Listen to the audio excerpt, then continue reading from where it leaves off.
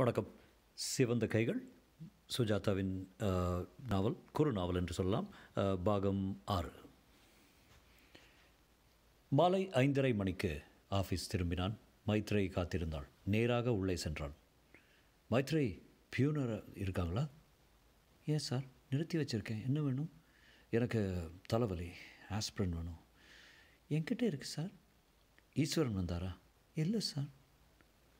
அவருக்கு ஒரு தந்தி கொடுத்துரு டூரை முடிச்சுட்டு உடனே வரும்படி அவரோட ஒரு டிஸ்கஷன் பண்ணணும். மறுநாளைக்கு மறுநாள் தான் அந்த செய்தி வந்தது. அணைக்கட்டின் கேட்ச்மெண்ட் பகுதியில் ஒரு உடல் மிதந்து கொண்டிருக்கதாகவும் அதை படகு வைத்து கதை கரை சேர்த்ததாகவும் உங்கள் ஆஃபீஸை சேர்ந்த ஈஸ்வரனாக இருக்கலாம் என்று நம்பப்படுவதாகவும் உடனே அடையாளம் கண்டுபிடிக்க உறவினர்களுடன் வர வேண்டும். ஓ my God it's not true it it can be Maitreyi Maitreyi உடனே அழ ஆரம்பித்தாள். காம் யூர் செல்ஃப் மைத்ரி அவராக இருக்காது. ஈஸ்வரன் வீடு எங்கே இருக்குது தெரியுமா? ராஜாஜி நகர் என்று விசும்பினாள். வீட்டில் யார் இருக்கா? ஒரே ஒரு பெண் சார். வா மைத்ரி உடனே அவளை போய் பார்த்து கலவரம் இல்லாமல் பயப்படுத்தாமல் அழைத்து செல்ல வேண்டும். எனக்கு வீட்டை காட்டுறியா? ராஜாஜி நகரின் முதல் பிளாக்கில் சரிந்த ஒரு தெருவில் பெட்டி பெட்டியாக இருந்த வீடுகளில் ஒன்றில் கம்பெனி கார் நின்றது. வாசலில் இருபது வயது மதிக்கக்கூடிய ஒரு பெண் படியில் உட்கார்ந்து கொண்டு பத்திரிகை படித்து கொண்டிருந்தாள். காரை பார்த்ததுமே அத்தே அப்பா வந்தாச்சு என்று எழுந்தாள். மைத்ரேயி முதலில் இறங்கி ஹலோ ரேவதி என்றாள். அப்பா வரல?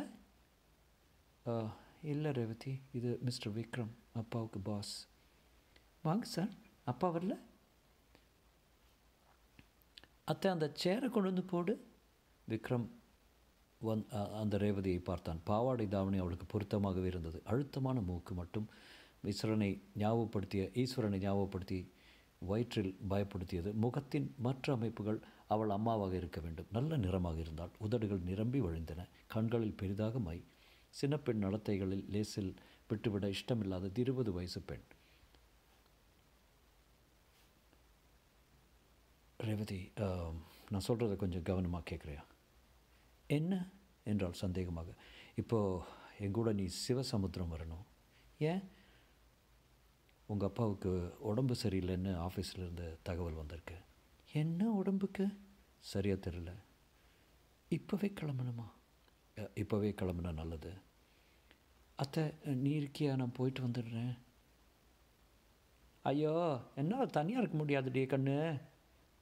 அத்தையும் கூட வர்றது நல்லது ரேவதி. என்னமோ சொல்கிறாளே அத்தை எனக்கு பயமாக இருக்குது பயப்படாதம்மா நாங்களாம் இருக்கோம். எதுக்கு இருக்கோம்?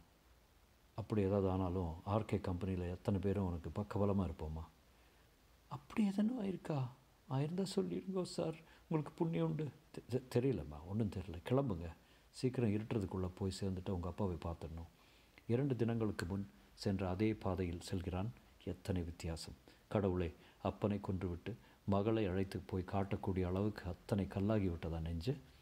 இல்லை இல்லை மறத்து போய்விட்டது. இந்த நிகழ்ச்சிகள் அனைத்தும் அவனை அறியாமல் suffer of spare of of moment என்பார்களே. Spot of the மோமெண்ட்டா என்பார்களே. Uh, அந்த அந்த வகை தற்செயலான விபத்து நிகழ்ச்சிகள். அவர் காலை வரும் uh, காலை வாரும் அந்த கணம் வரை அவனுக்கு அவரை கொல்லும் உத்தேசம் இருக்க இருக்கவில்லை திடீரென்று சுவாமி அல்லது சைத்தான் அவனுக்கு ஒரு வழிகாட்டி அவன் வழியை செலுத்தப்பட்டான். செலுத்தப்படுகிறான். ரேவதியை பார்த்தான். அவள் பால் எல்லையில்லாத இரக்கம் ஏற்பட்டது. விபத்தில் மற்றொரு விபத்தில் அகப்பட்டு கொண்டவள் இவள். ஈஸ்வரனை காப்பாற்ற முடியவில்லை. இவளை காப்பாற்றலாம். இந்த துக்கத்தை முதலில் இவள் சமாளிக்கட்டும். அதன் பின் பரிகாரம் தரலாம். என் குற்றத்துக்கு பிராயச்சிதம் பிராயச்சிதமாக இந்த பெண்ணை கரையேற்றலாம். கார் அணைக்கரையை நெருங்கும்போது மேற்கே சூரியன் இறந்திருந்தான் போலீஸ் அவுட் போஸ்ட்டுக்கு போனார்கள். எடுத்துகிட்டு போய் ஆஸ்பத்திரி மார்ச்சரியில் வச்சுருக்காங்க. இது யாருங்க? பொண்ணா? ஆமாம் ரேவதி அப்பா அப்பா என்று அழத் தொடங்கினாள். நான் மாட்டேன் நான் வரமாட்டேன். அவருக்கு என்னமோ ஆயிடுத்து. நீங்கள்லாம் மறைச்சி வைக்கிறீங்க. Revathi Revathi calm yourself Revathi. உனக்கு நாங்கள்லாம் இருக்கோம். நான் நான் இருக்கேன். ஆர்கே திரும்பி வந்ததும் அவருக்கு செய்தி விமான நிலையத்திலேயே தெரிவிக்கப்பட்டது. ஒரு கணம் ஸ்தம்பித்து நயா சொல்கிற என்றார்.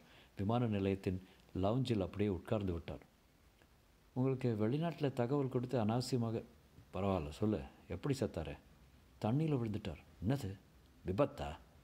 சரியாக தெரியல. போலீஸ் என்னவோ தற்கொலையாக இருக்கும்னு நம்புகிறாங்களாம் பேரப்பெட் கவரில் சுவரில் ஏறி பைத்தியக்காரத்தனமாக நடந்து கொண்டு இருந்தால் தான் இந்த மாதிரி விபத்து நிகழலாம்ங்கிறாங்க. தற்கொலையா? இம்பாசிபிள் அந்த ஆள் அப்படிப்பட்ட ஆள் கிடையாது. அவருக்கு என்ன குறை? ஒன்றும் இல்லை சாத்தியமே இல்லை. ஏதாவது ஃபவுல் பிளேயர் இருக்கும். விக்ரம் இதை பற்றி நான் போலீஸ் சூப்ரண்டை கேட்குறேன். நான் எல்லாத்தையும் பார்த்துக்கிறேன் சார்.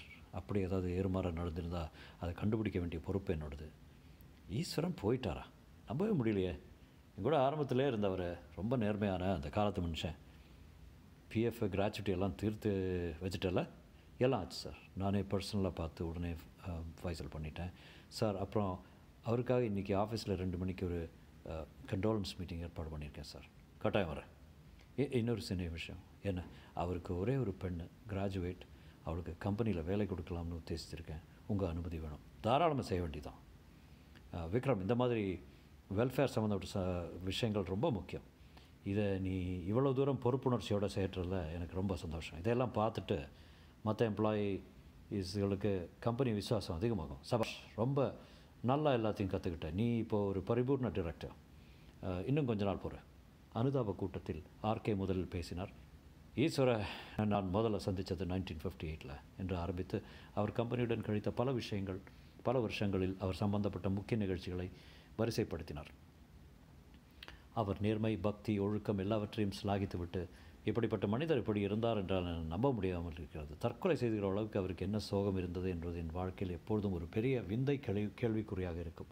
இதிலிருந்து மனித மனத்தை நாம் பரிபூர்ணம் அறிந்து கொள்ளவே முடியாது என்பதுதான் பாடம் என்றார். பின் பேசின விக்ரம் ஈஸ்வரன் வாழ்க்கையில் எல்லோருக்கும் பாடம் இருக்கிறது. அவரிடம் எனக்கு சில பிடிவாத குணங்கள் பிடிக்கவில்லை. இருந்தும் அவர் பிடிவாதங்கள் அனைத்தும் கம்பெனி நலன் என்று அவர் கருதிய விஷயங்கள் தான் இதனால் தான் அவர் சுயநலம சுயநலமற்றவர் என்பதில் எவருக்கும் சந்தேகமில்லை. சர்வீஸில் இருக்கும்போதே மரணமடைந்தவர்களின் குடும்பத்தை சரியாக பாதுகாப்பது நம் கம்பெனியின் முக்கியமான பொறுப்பாகும். இந்த சம்பிரதாயத்தை நிறுவிய நிறுவின பெருமை நமது மதிப்புக்குரிய ஆர்கே அவர்கள் சாரும் ச சம்பிரதாயத்தை சம்பிரதாயத்தை விட்டு கொடுக்காமல் திரு ஈஸ்வரின் குடும்பத்திற்கு சட்டப்படி தர வேண்டிய பணங்களை உடனே கொடுப்பதுடன் மற்றொரு சலுகையாக ஆர்கே அவர்கள் சம்மதித்திருக்கிறார். அவர் மகளுக்கு கம்பெனியில் ஒரு வேலை தரை சேர்ந்திருக்கிறார். எல்லோரும் கைதட்டினார்கள். கம்பெனி நலனுக்காக கடுமையாக உழைத்த நம் ஈஸ்வரன் குடும்பத்திற்கு நாம் தரக்கூடிய சிறு ஞாபகார்த்த பரிசு இது. இந்த தினம் அவர் ஆத்ம சாந்திக்கு இரண்டு நிமிஷம் மௌனமாக இருப்போம். எல்லோரும் அப்படியே நின்றார்கள். விக்ரம் காரில் இருந்து இறங்கி வந்து ஈஸ்வரன் வீட்டு கதவை தட்டுவதற்கு முன்னமே ரேவதி திறந்து விட்டாள். வாங்கோ என்றாள். சமீபத்தை அழுகினால் கண்கள் சிவந்திருந்தன. என்ன ரேவதி மறுபடியும் அழ ஆரம்பிச்சிட்டியா? நான் என்ன சொன்னேன்? ரேவதி தரையை பார்த்து கொண்டு லேசாக சிரித்தாள். உடனே அப்படி சிரித்தது மகாபாவம் என்பது போல சட்டென்று நிறுத்தி கொண்டு சி தீவிரமானான் ரேவதி அத்தை எங்க? ராம் மந்திர் போயிருக்கா? ரேவதி சும்மா வீட்டில் உட்காந்துட்டு ப்ரூட் பண்ணிட்டு இருக்கக்கூடாது. உங்கள் அப்பா ஆர்கே ஸ்தாபனத்துக்கு இவ்வளோ நாள் இவ்வளோ சின்சியராக உழைச்சதுக்கு நன்றி சொல்கிற விஷயத்தில் உனக்கு ஒரு வேலை கொடுக்குறதா மேனேஜ்மெண்ட் தீர்மானிச்சிருக்கு. அந்த சந்தோஷமான செய்தியை உங்கள்கிட்ட பர்சனலாக சொல்கிறதுக்காக தான் நான் வந்திருக்கேன். ரேவதி நிமிர்ந்தாள். கண்கள் கண்ணீர் திரை தயாராக இருந்தது. ரொம்ப நன்றி சார். நீங்கள் அந்த அதிர்ச்சி நாட்களில் கூடவே இருந்து தைரியம் சொல்லி ஒவ்வொரு ஸ்டேஜ்லையும் எனக்கு ஆறுதல் சொல்லி இல்லைன்னா நான் அப்போவே அப்போ அப்போ அப்பா கூட செத்து போயிருப்பேன். புடவையெல்லாம் பரபரவென்று நிறையா அழுதாள். ரேவதி ப்ளீஸ் அழக்கூடாது. அழுதது போதும். இட்ஸ் ஆல் ஓவர் அவர் போனது முடிஞ்சு போன சகாப்தம். மறக்க வேண்டிய மறந்தாக வேண்டிய சகாப்தம். எப்படி சார் மறக்க முடியும்? கமான் வாழ்க்கையில் நிகழ்ந்த விபத்துன்னு வச்சுக்கோ. அழறதால் ஒரு லாபமும் இல்லை. சார் ஏன் சார்? எதுக்காக சார் எங்கள் அப்பா தற்கொலை பண்ணிக்கிட்டார்? தெரியல. ரேவதி அது கொஞ்சம் மர்மமாக தானே இருக்கு. ஏதாவது காரணம் இருக்கும் இல்லையா? ஆஃபீஸில் ஏதாவது தப்பு பண்ணிட்டாரோ? சேச்சே அதெல்லாம் இல்லை. காரணம் இருந்தால் சொல்லிவிடுங்க சார். அப்படி எதுவும் கிடையாது. ஹிஸ் ரெக்கார்ட் வாஸ் ஃபால்ட்லெஸ் ஏன் ஏன் ஏன்று மண்டை குழப்புறது? வாழ்க்கையில் சில எண்களுக்கு பதில் கிடைக்காது ரேவதி. எனக்கு என்னவோ அது ஒரு ஆக்சிடெண்ட்டு தோணுது? ரேவதி அதை பற்றி பேச வேண்டாம். உன்னை பற்றி பேசலாம். நீ என்ன படிச்சிருக்க? பிஎஸ்சி தெரியும். என்ன சப்ஜெக்டு பாட்டனி அப்பா அதுக்கப்புறம் எம்எஸ்சி படிக்க சொன்னார். இந்த வருஷம் சேரலாம்னு இருந்தேன். அப்பா என் கல்யாணத்துக்காக சேர்த்து வச்சுருக்கார். என்னென்னவோ பாலிசி ஃபிக்ஸட் டெபாசிட்னு இந்த வருஷம் முடிச்சிருந்தா பிளான் போட்டிருந்தார். உனக்கு இந்த வேலையில் சேர இஷ்டம் தானே? எனக்கு ஆஃபீஸ் வேலை ஒன்றுமே தெரியாது சார் அதெல்லாம் ட்ரெயின் பண்ணிவிடுவோம் டைப்பிங் ஏதாவது தெரியுமா? தெரியாது. பரவாயில்ல. ஒன்று பண்ணுவோம். உன்னை முதல்ல டெஸ்பேச் செக்ஷனில் போட சொல்கிறேன் அங்கே தான் ஒர்க் கொஞ்சம் சுலபமாக இருக்கும். அங்கே உன் உன் ப்ராக்ரஸை பார்த்துட்டு மேற்கொண்டு வேறு டிபார்ட்மெண்ட்டுக்கு ஷிஃப்ட் பண்ணிக்கலாம். என்ன? நீங்கள் எனக்கு செஞ்ச உதவியை என்ன கைமாறு செய்ய போகிறேன்னு தெரியல. எல்லாம் கடமைமா கம்பெனிலேருந்து லெட்ரு வரும். ஒன்றாந்தேதி வந்து ஜாயின் பண்ண. என்ன? நான் வரட்டுமா? கொஞ்சம் இருங்க சார் காஃபி போட்டுக்கிட்டு கொண்டு வரேன். இனிமே தான் காஃபியா சரிதான். எனக்கு நேரம் இல்லை. அப்புறம் சாவக மாதமாக வரேன். ப்ளீஸ் ஒரு நிமிஷம். இதோ அத்தை கூட வந்துட்டேன் அத்தை விக்ரம் சார் வந்திருக்கார். சட்டுன்னு காஃபி போட்டு கொடு. வேண்டாம் ரகுதி இதை பாரு. ஒன்று வேணால் செய்யலாம். ஒன்றாந்தேதி என்ன அத்தையுமா இன்றைக்கி இன்னைக்கு நான் இன்னைக்கு நாள் நல்லா இல்லை? இருக்கு நாள் நல்லா இருக்குல்ல? எங்கூட இப்போது ரேவதி ஆஃபீஸ்க்கு வரட்டும்.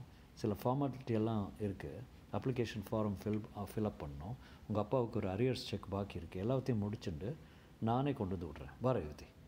போயிட்டு வாம்மா. ஒரு மாதமாக வீட்லேயே அடைஞ்சு கிடந்தது போதும். பளிச்சுன்னு ஏதாவது கட்டின்ட்டு மூஞ்சி அலம்பின்ட்டு கிளம்பி போகிறப்போ அனுமார் கோவிலுக்கு ஒரு நட போட்டு வந்துரு. ஏதோ வழிகாட்டியிருக்காரே வழிகாட்டினது அனுமார் இல்லாத்த இவர் தான் விக்ரம் சார் தான். ஏதோ நல்லபடியாக தீர்க்காயசாக இருப்பா. ரேவதி புடவை மாற்றிக்கொண்டு வந்ததும் முதல் முறையாக அவள் து துக்கம் குறைந்த நிலையில் சற்று வசீகரமாக உடுத்தி கொண்டிருப்பதை பார்த்தான். அவள் ஏறக்குறைய தன் உயரம் இருப்பதை கவனித்தான். நெற்றி புருவங்களுக்கு நடு மத்தியில் சின்னதாக போட்டு பவுடரின் அவசர கீ தீற்றல் சாரி நவிக்கை இரண்டு மா மாற்றிக்கொண்டு இடது கையில் ரிஸ்ட் வாட்ச் அணிந்து கொண்டு போகலாமா சார் என்றாள். காரின் பின் சீட்டில் உட்கார்ந்து கொண்டால் கண்ணாடி வழியாக ஒரு முறை அவள் மார்பு சேலையை சரி செய்து உள்ளதை பார்த்தான். முதல்ல எங்கே போகலாம் முதல்ல அனுமர் கோவில் போடலாம் சார் ஒரு அஞ்சு நிமிஷம் இஃப் யூ டோன்ட் மைண்ட் போகலைன்னு அத்தை வருத்தப்படுவா. தாராளமா. மகாலட்சுமி லே அவுட்டில் இருந்த குன்றின் மேல் பக்கவாட்டில் நின்று கொண்டிருந்த பிரம்மாண்டமான ஆஞ்சநேயரின் முன் அவள் கண்கள் மூடிக்கொண்டு பிரார்த்திக்கும் போது அவளை முழுவதும் தரிசித்தான் விக்ரம். பாதங்களின் அருகில் உள்பாவடை பார்டர் கொஞ்சம் தெரிந்தது. குன்றின் உயரக் காற்றினால் இடுப்பு இடுப்புடன் ஒட்டி கொண்டிருந்த சாரி அவள் தொடைகளின் அமைப்பை காட்டியது. ரவிக்கைக்கு கீழ் தெரிந்த சாம்பிள் அவள் உள்ளுக்குள் எவ்வளவு சிவப்பாக இருப்பாள் என்று கோடி காட்டியது. அவள் மார்பகங்கள் ஆரோக்கியமாக இருந்தன. ப்ரொஃபைல் வடிவத்தில் தெரிந்த நேரான மூக்கும் கழுத்தும் வளைவும் நெற்றியும் தாராளமும். மை காட் விக்ரமுக்கு ஷாக் அடித்தது போல் அந்த ஆசை தொட்டது. நான் செய்த காரியத்திற்கு பிராய்ச்சித்தம் இந்த சன்னிதானத்தில் கிடைத்து விட்டது. ஆம் இவள்தான் என் மனைவி. இவளை நான் அடைந்து இவள் அப்பாவுக்கு செய்து கொடுத்த தண்டனையை இவன் இவளை பூ போல வைத்துக்கொண்டு இவளுக்கு தரும் சந்தோஷத்தின் மூலம் இவளுள் நான் புகுந்து இவள் அப்பாவின் மறுவடிவத்தை சிருஷ்டிப்பதின் மூலம் பரிகாரம் தேட வேண்டும். அதுதான் இனி என் குறிக்கோள். ஆஞ்சநேயரை பார்த்தான். தெய்வ சன்னிதானத்தில் எனக்கு இந்த முடிவு திடீரென்று தோன்றிய தோன்றியதில் ஒரு விதமான அமானுஷ்ய சக்தி இருக்கிறது. தெய்வமே ஈஸ்வரன் என் பாதையில் குறுக்கிட்டதை நான் நீ ஏற்படுத்தி கொடுத்த விபத்து என்று தான் நம்புகிறேன். அவர் ஏன் என் ரெக்கார்டுகளை கிளற வேண்டும்? ஏன் கண்டுபிடிக்க வேண்டும்? அதைவிட எதற்காக அந்த சமயம் பார்த்து டூர் போக வேண்டும்? எதற்காக அந்த ஜலப்பரப்பின் முன் தனியாக நின்று கொண்டிருக்க வேண்டும்? எனக்காகவே காத்திருந்தவர் போலல்லவா நின்று கொண்டிருந்தார்? எனக்காகவா அல்ல உனக்காகவா? அந்த கணம் வரை எனக்கு அந்த கொல்லும் எண்ணமே இல்லை. திடீரென்று தோன்றியது உன் செயல்தானே? நான் இதில் கருவிதானே? இப்போது ஈஸ்வரன் பெண்ணை என் பொறுப்பில் ஏற்றுக்கொள்ள சந்தர்ப்பம் கொடுத்திருக்கிறாய். ஏற்றுக்கொள்ளப் போகிறேன். கடவுளே அவளை நான் ஆட்கொள்கிறேன். நான் கடவுளின் தூதன். இல்லை நான் கடவுளின் அம்சம். நானே அவன்தான். அழிக்கிறேன் காக்கிறேன். விக்ரமிற்கு இப்போது நிம்மதியாக இருந்தது. ரேவதியை டெஸ்பாச்சில் போட வேண்டும். என் ஆஃபீஸிலே எனக்கே அசிஸ்டண்ட்டாக ஏற்றுக்கொள்கிறேன். அப்போதுதான் எனக்கு அவளை அடிக்கடி பார்க்க சந்தர்ப்பம் கிடைக்கும். பார்த்து பழகி பேசி ஓ வாழ்க்கை என்ன அற்புதமானது. ரேவதி கண்ணை மூடிக்கொண்டு தியானத்தில் இருந்தாள். ஆஞ்சநேயா தெய்வமே என் அப்பா எப்படி இறந்தார் என்று கண்டுபிடிக்க எனக்கு உதவு. அந்த கேள்வி என்னுள் விடை கிடைக்காமல் இருக்கும் வரை எனக்கு தூக்கமில்லை நிம்மதி இல்லை. அந்த ஆஃபீஸில் என்னவோ நடந்திருக்கிறது. ஏதோ ஒரு விரோதம் ஏதோ ஒரு சிக்கல். ஏதோ தெரியக்கூடாதது. அப்பாவுக்கு தெரிந்து போய் அவர் பலியாகி இருக்கிறார். இதை என் உள்ளுணர்வு தொல் சொல்லுகிறது. அதை கண்டுபிடிக்க எனக்கு தக்க பலத்தையும் சாகசத்தையும் தா. தக்க மனிதர்களிடம் என்னை சேர்த்து வை. அந்த ஆஃபீஸுக்குள் நடந்தது என்ன என்று கண்டுபிடிக்க எனக்கு உதவு. தெய்வமே நான் அதனுள் வேலை ஏற்றுக்கொண்டு செல்லப்போவது இதற்குத்தான். பழி வாங்க. இதற்குத்தான். இதற்குத்தான். போகலாமா ரேவதி என்றான் விக்ரம். போகலாம் சார். நான் தயார். முற்றும். ஸோ இந்த இந்த கதை இதோட முடிஞ்சது. அது ஒரு சின்ன குறு நாவல். ஸோ அது முடிஞ்சது. இதோட செகண்ட் பார்ட் வந்து ஹீ ரோட் இட் அஸ் கலைந்த பொய்கள் அப்படின்னு. ஸோ அடுத்த பார்ட்டு வந்து கலைந்த பொய்கள்ன்ற பேரில் I start doing it so you see the second part of the story uh, நன்றி வணக்கம். தேங்க்யூ